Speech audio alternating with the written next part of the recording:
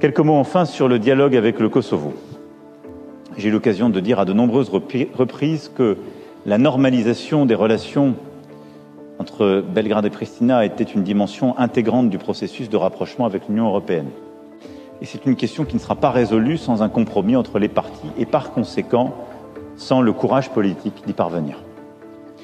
Je félicite à cet égard les autorités serbes pour les décisions qui ont été prises en fin d'année dernière pour commencer à mettre en œuvre l'accord d'Oride conclu l'année dernière.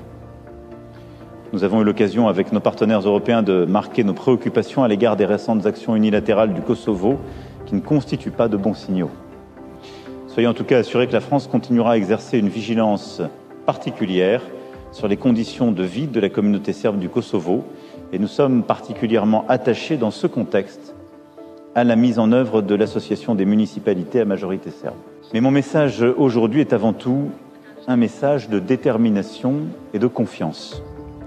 Nous continuerons à soutenir les efforts de la médiation européenne pour progresser dans la normalisation des relations entre la Serbie et le Kosovo, qui est aussi essentielle pour toute la région des Balkans occidentaux, et améliorer avec vous, avec vos principaux partenaires de la région, l'intégration de celle-ci.